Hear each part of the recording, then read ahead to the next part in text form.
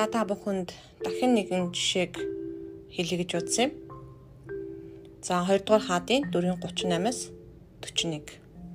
Энэ үед Илеша Гигал Гэлгал гэдэг руу буцаж гарч ирээд газар нутгад нүцгэлэн болсон байсан. Иш үзүүлэгч хөвгөө түүний өмнө сууцгааж байхад тэрээр зарцтай том тоогоо тавьж иш үзүүлэгч хөвгөдөд зориулан шүд буслаг гэж хэлв. За ингээд хүмүүст хоол хийж өгч. Гэтэл нэг нь ногоо цуглуулахаар талбай руу гарч зэрлэг орон гурмал олоод түүнээс хормоогоо дүртэл зэрлэг жимс цуглуулан буцаж ирээд тэдгэрийг шүлтөө тоонд ирчиж хийв. Учир нь тэд мдээгүй ажээ. Ингээд тэд хүмүүс идүүхээр аяглав. Тэд шүднөөс идэж байтал хашран бухны хүний тогоон дотор өвхөл байна гэцгээлээ. Тэд идэж чадахгүй байв. Харин Илэша гурал аваад ир гээд түүний тогоонд хийгээд хүмүүст аягалж өг. Тэд эцгээ гэж хэлв. Тэгт тогоонд ямар ч хороогүй болсон байлаа. Хортой хоолнд гурал хийхээр идгэрдэг ямар ч онол байхгүй. Хортой гуралтай шүлэл болж хувирна. Гэтэл хор нь алга болсон байгаа. Энд ирж байгаа мэрэгэн ухаан бол үнэхээр бурхнаас ирж байгаа мэрэгэн ухаан. Дараагийн нэг жишээ Иохан 9-ийн 6-аас 7 уншиж өгье.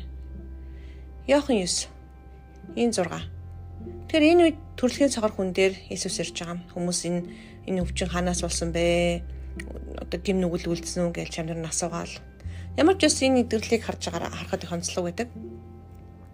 Ямар ч Иесус хэлээ тэр газар нулимж шүлсээрээ шавар зурж, өөрийнхөө шүлсээр шавар зурж, сохрын нүдийг шавраар шаваад яв Соломон буюу илгээгдсэн цөрөнд угаа гэж лв. Тэд явж угаагаа тараатаа болж эргэж ирж байгаа. Тэгэхээр энэ мэтлэн Библи дотор маш олон хүмүүсийн идэвхлийг харах юм бол Иесус дандаа өөр өөр идгээсэн байдаг. Тэр бүх сохор хүн дээр л нүдийн шавраар шаваад идгэн гэсэн үг биш. Нэгэн удаа нурууны өвчтөе хүнийг би оо босоод ихвэрч гэсэн чи идгэрсэн. Тэгсэн чинь нурууны өвчтөе нэг залуу уу янжмаагч тэгж хэлжсэн юм чинь би ч гэсэн босоод ихвэрчүүл зүгээр гэж бодоод бүр нуруугаа өвтгöd орилдсон байсан. Тэгээ залбирсан чи өөр асуудал байсан л да. Тэгэхээр Бурхны эмэрхэн ухаан яг проблем гарч ирэхэд ийм гэсэн шийдлийг өгдөг баг. Ингэж шийдэрээ. Заримдаа шавар зурна, заримдаа сүгээр угаана, заримдаа алхах нь, заримдаа зүгээр л хүндэрж орох нь, заримдаа харин өгөж орох нь. Тэгэхээр ихэнх одоо ч санхүүгийн асуудалтай хүмүүстээр би бурхан дандаа үг гэсэн шийдвэр гаргадаг. Ихэнхдээ л А гэтээ хэмжээ ч юм уу надад дург ч юм уу хизэж хилдэггүй сүмдээ эсвэл тэгэрээ ингээрээ гэж хэлдэг. Тэгэхээр их сонирхолтой л доо. Би жишээлбэл 8 сард байрны төлбөр төлөхсдөө буюу нэгсэндөө 8 сард багш нарын цалин байдаггүй. Зуны амралт болохоор цалин байхгүй болчихдог штеп. Тэгээ одоо яах вэ гэж бурхнаас асуусан. Тэгсэн чинь дансан чи хэр өмөг вэ гинэ. Наадахыгаа 50% хүнд өгчих гэж хэлсэн би юуж бодохгүй баярлаад өгсөн. Тэгсний дараа маргааш нь 4 билүү та баг 5 дахин нуурч мөнгө өөр нэг газраас орж ирсэн. Ингээд би байрны халбарыг төлөөд дээрээс нь амьдрах мөнгөтэй болж хувирсан. Тэгэхээр янз янзын ийм мэрэгэн ухаануудыг бурхан биднэрт өгдөг. Тэгэхээр мэрэгэн ухааны бэлэг авяас болохоор өөрөө шийдвэр гаргаж байгаа шийдвэрш бурхнаас ирдэг гэдгийг юусоо мартаж болохгүй. Ариун сүнсийг маш сайн сонсохгүй болвол энэ мэрэгэн ухааны талаар ойлголтыг авч чадахгүй. Тэгэхээр эхний ээлжинд би мэрэгүү ухаантай болъё гэж залбирхаасаа өмнө ариун сүсээ би таныг мэдхийг хүсэж байна.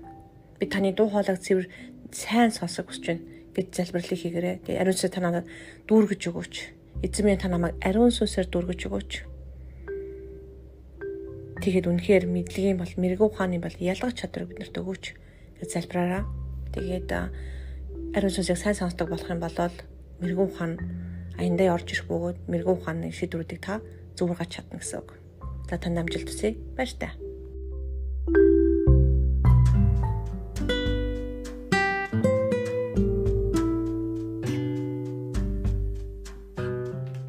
Байцгаана уу? Энд байна. Энэ удаа та бүхэндээ мэрэгэн ухааны бэлэг авсан талаар хичээ гэж бодсон юм. Тэгэхээр гитлэл 15-ын 22-оос 25-ыг харъя. Мосе Израильчуудыг удирдах тэд улаан тэнгисээр шурын цөл рүү оров. Тэд цөлөөр 3 өдөр явсан бөгөөд ус олсонгүй. Мараа дээрээ тэд марагийн усыг ууж чадсангүй. Учир нь ус шорог байв. Тийм учраас энэ газар Мара гэж нэрлэгдэжээ. Ард түмэн Мосед гонголдон бид юу уух вэ гэцгээв. Мосе эзэнд хашгирсанд эзэн түүнд нэг модыг үзүүлв. Тэр түүнийг усанд хайсанд ус амтлаг болов. тэнд тэр тэдний төлөө зориг шидрэг өгч тэднийг сорив. Тэгэхээр энэ нэшлээс харах юм бол мэрэгүн ухаан бурхнаас ирдэг. Тэр Мосе үнэхээр бурхантай байсан бөгөөд бурхан тунд шийдвэрүүдээ өгчээсэн. Амьдралд нь олон проблем боломжууд бас гарч байдаг бидний амьдралд. Энэ проблем гарсан байна. Асуудал тулгарсан. Ус байхгүй. Цүлд 3 өдөр усгүй. Боддоо маш хэцүү. Энэ үед хаашаа ашгарсан бэ гэхээр бурхан руу ашгарсан. Тэгээ бурхан түнд мод үзүүлсэн. Ингээд тэр модыг усанд хийсэн чинь тэр ус нь амтлаг болчих.